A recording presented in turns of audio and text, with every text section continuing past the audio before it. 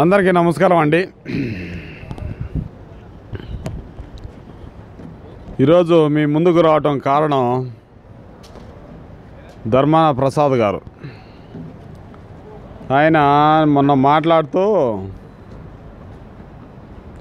లింగ్ లింగ్ లింగమని అమరావతి ఎనిమిది గ్రామాల ప్రజలు లింగ్ లింగ్ లింగమని రోడ్లలో టెంట్లు వేసుకొని కూర్చొని ఉన్నారంట ధర్నాలు చేస్తున్నారంట. ఎవరోళ్ళు? తెలుగుదేశం కార్యకర్తలంట.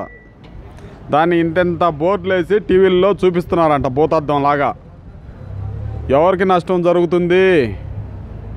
అమరావతి అక్కడి నుంచి తీసేస్తాను తెలుగుదేశం కార్యకర్తలు బాధపడుతున్నారు అని మాట్లాడాడు.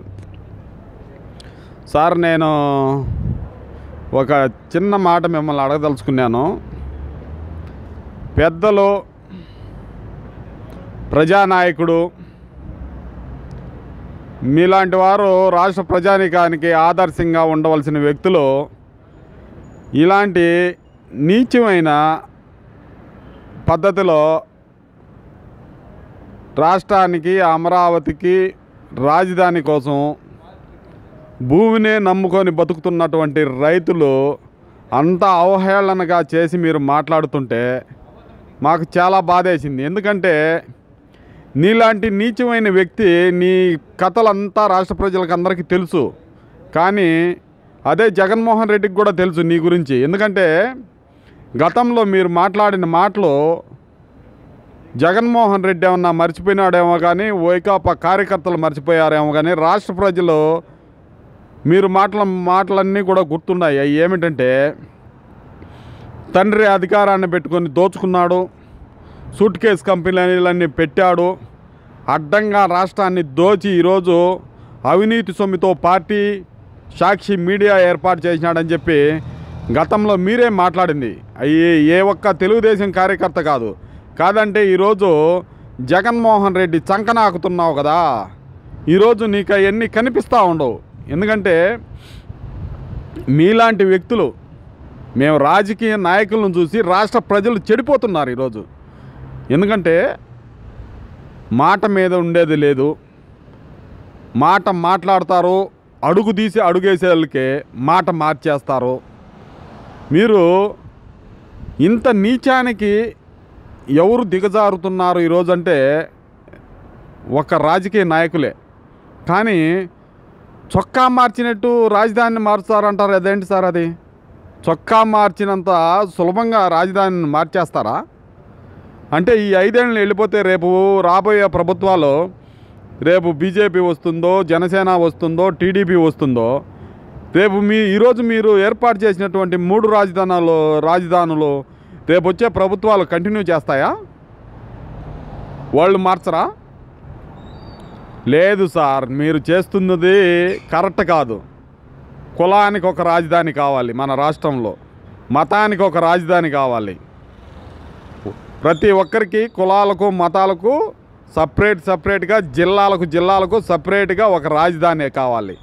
ఒక్కొక్క కోర్టు కూడా ఉండాలి. ఎందుకంటే మనం చేసే అవినీతి అడ్డమైన పనులకు కోర్టుల చుట్టూ కేసులు పెట్టుకొని తిరుగుతూ ఉండాలి కదా. నీలాంటి నీచమైన రాజకీయ నాయకులు ఉన్నారు కాబట్టి ఖచ్చితంగా కోర్టులు కూడా ఉండాలి. ఈరోజు జగన్మోహన్ రెడ్డి ఈరుడు సూర్యుడు సార్.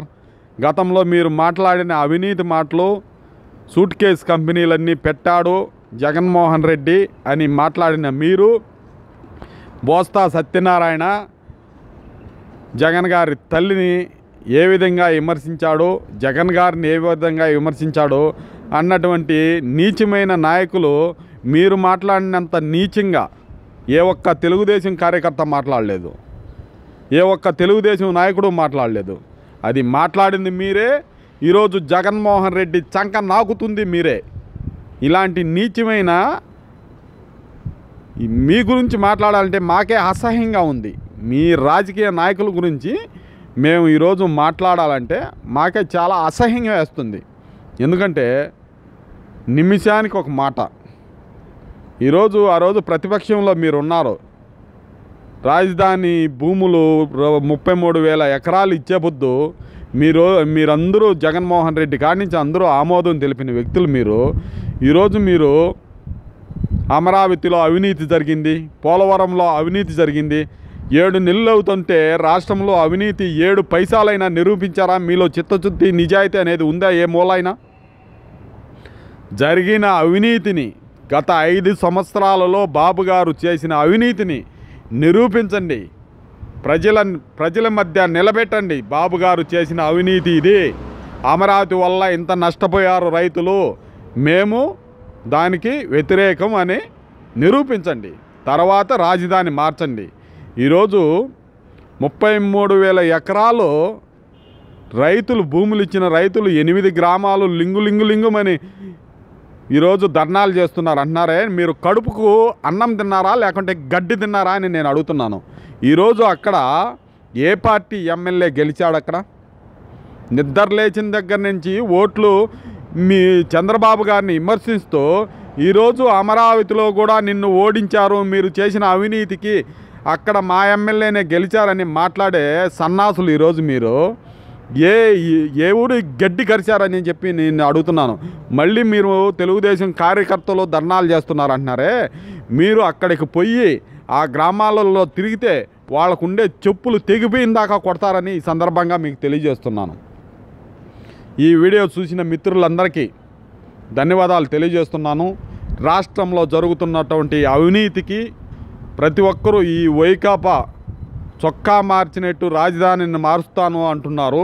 ఖచ్చితంగా దీనికి ప్రతి ఒక్కరూ తీవ్రంగా ఖండించాలి. ముప్పై మూడు వేల ఎకరాలు భూములు ఇచ్చిన రైతులకు అండగా నిలబడాలని ప్రతి ఒక్కరిని ప్రతి ఒక్క తెలుగు మిత్రుడిని కోరుకుంటూ సెలవు తీసుకుంటున్నాను. జై హింద్. వార్తావాణి న్యూస్ ఛానల్ ఎప్పటికప్పుడు రాజకీయ సినీ విశేషాలు స్పోర్ట్స్ మరియు సాంకేతిక పరమైన మరెన్నో విషయాలను మన ముందుకు తెస్తుంది. మరింత సమాచారం కొరకు వార్తావాణి న్యూస్ ఛానల్ని సబ్స్క్రైబ్ చేయండి.